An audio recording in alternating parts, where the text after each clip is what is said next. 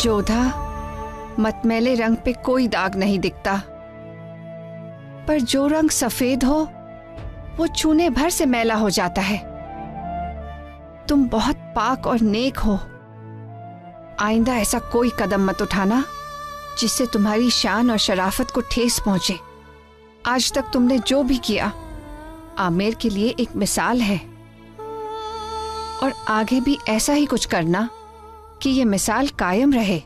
जी अम्मी जान हम स्वीकार करते हैं कि हमसे गलती हुई परंतु उस वक्त हमारी मनोदशा ऐसी हो गई थी कि हमें कुछ समझ नहीं आ रहा था। हमें लगने लगा था कि ना ही संसार हमारे लिए है और ना ही हम इस संसार के। ज़िंदगी में ऐसे पल आते हैं बेटा जब इंसान को ज़िंदगी बेमानी से लगने लगती है। हम भी इस दौर से गुजर चुके हैं। पर ऐसे में ज़िंदगी का साथ छोड़कर जाने की कोशिश करना ना ही आमेर की बहादुर बेटी की आन के मुताबिक है ना ही आगरा की बेगम की शान के। जलाल अब तुम्हें बतौर बेगम लौटाकर लाया है। हम चाहेंगे कि अब इस औहदे की शान तुम बनाए रखो। परंतु अम्मी जान आपको रुकैया बेगम को कैसे पता चला कि शहनशाह ने हमें उस कक्ष में रखा था? नहीं जानते थे। हमें सिर्फ़ इतना पता था कि जलाल की ज़िंदगी को खतरा है। क्या? और हम पीर साहब की हिदायत के मुताबिक काम कर रहे थे।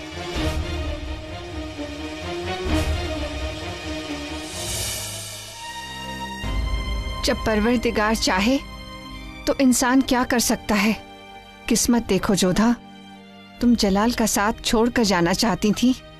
अब जलाल के साथ तुम्हें अजमेर जाना होगा। पर अम्मी जान हम ये तुम्हें हमने नहीं चुना, जोधा। तकदीर ने चुना है।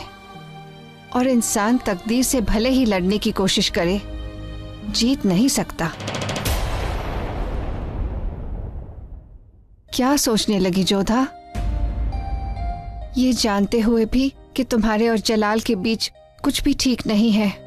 एक माँ होने के नाते हम तुमसे दरख्वास्त करते हैं कि हम जाएँगे, अम्मी जान। नियति या भाग्य के आदेश से नहीं हम अजमेर जाएँगे आपकी प्रसन्नता के लिए। जीती रहो।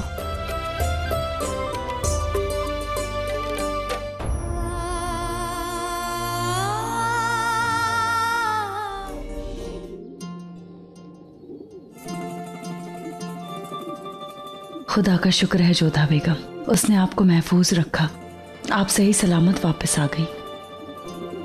और फिर परवरदिगार ने आपको शहनशाह के साथ अजमेर शरीफ जियारत अदा करने का मौका अदा फरमाया। सलीमा बेगम हम वहाँ पर केवल अम्मी जान की खुशी के लिए जा रहे हैं। ऐसा मत कहिए जोधा बेगम। जब आप दुआ करते हैं तो दुआ दिल से की जाती है। आप भी तो हर रोज सुबह पूजा दिल से करती हैं ना? ये बात तो आप भी मानती होंगी कि दुआ वही कबूल होती है जो दिल से की जाती है। और हमारी बात माने तो आप अजमेर शरीफ तभी जाएँ जब आप दिल से दुआ मांगे। अम्मी जान का दिल रखने के लिए नहीं।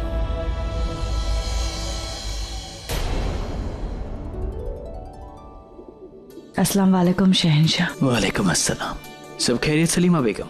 रहीम ने कोई नई शरारत तो नहीं की? अल्लाह की फजल और आपकी मेहरबानी से सब ठीक है। अब हमें इजाज़त दें।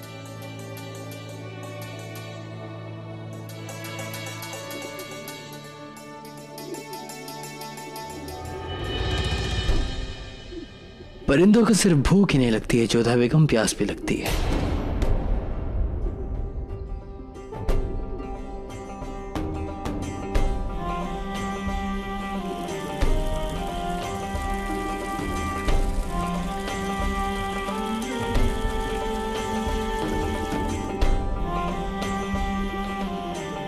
इंसान अगर कोई काम अपने हाथ में ले तो उसे मुकम्मल करना चाहिए, अधूरा नहीं छोड़ना चाहिए।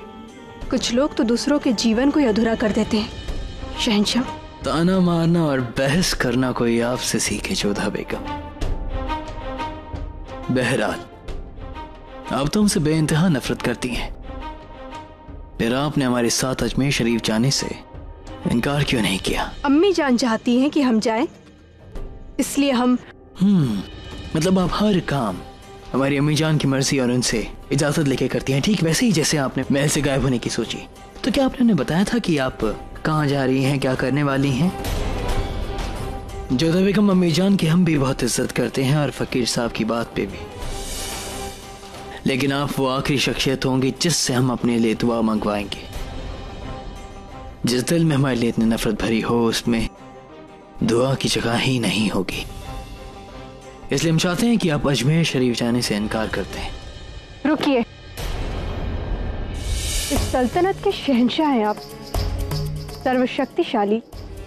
और इतनी छोटी सी बात अम्मी जान तक पहुँचाने के लिए आपको हमारी सहायता की आवश्यकता क्यों है? आप स्वयं ये बात अम्मी जान से नहीं कह सकते हैं। कहीं आपको ये तो नहीं लगता कि हम अपनी अम्मी जान का सामना नहीं कर सकते?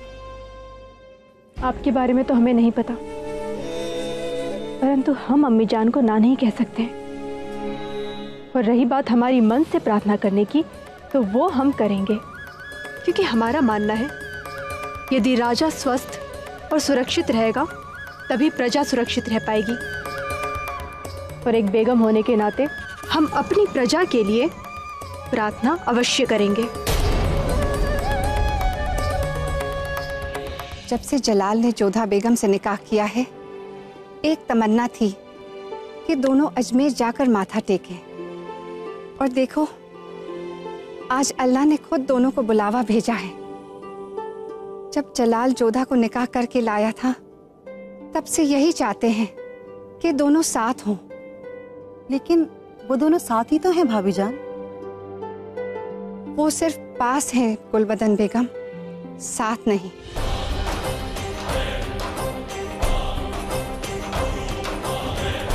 लेकिन अब ये लगने लगा है कि खुदा ने उन दोनों के साथ चलने के लिए रास्ता बना दिया है।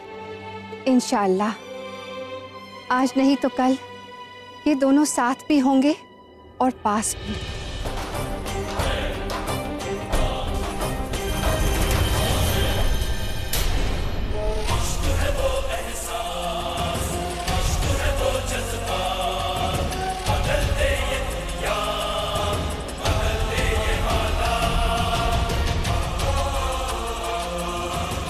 अगर इंसान अपने कदम संभाल कर नहीं रखता है तो अक्सर फिसल जाता है जोधा बेगम।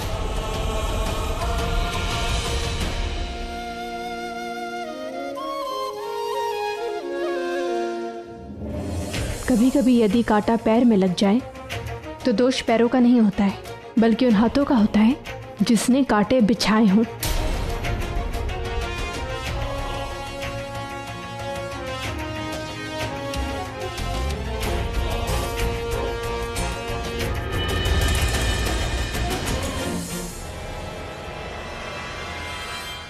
जलाल, जोधा पहली बार आपके साथ जा रही हैं।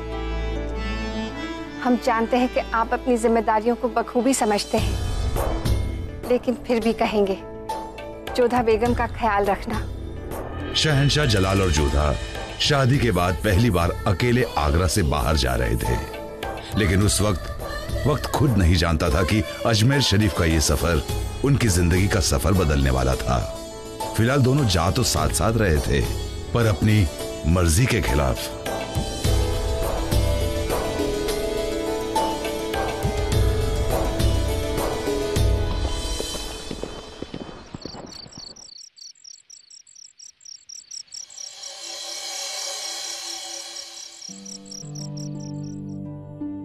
तुम्हें ज्ञात है क्या? शहनशाह ने अपना खेमा कहाँ लगवाया है? हमें भय है कि आज रात्रि को शहनशाह ने अपना खेमा अलग से नहीं लगवाया है। वो आज रात्रि हमारे खेमे में व्यतीत करना चाहते हैं। हम तो उनसे स्पष्ट कह देंगे कि हमें ये स्वीकार नहीं है चाहे कुछ भी हो जाए।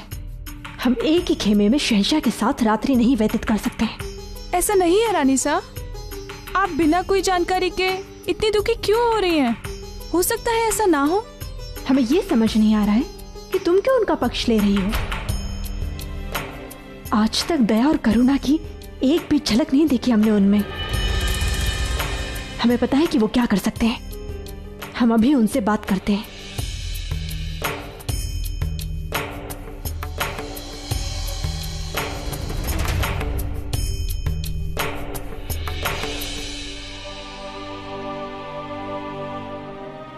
कहिए। हम आपको स्पष्ट कह देना चाहते हैं कि हम आपके साथ एक ही खेमे में रात्रि नहीं व्यतीत करना चाहते। और आप बलपूर्वक अपनी इच्छा हम पर लाद नहीं सकते हैं।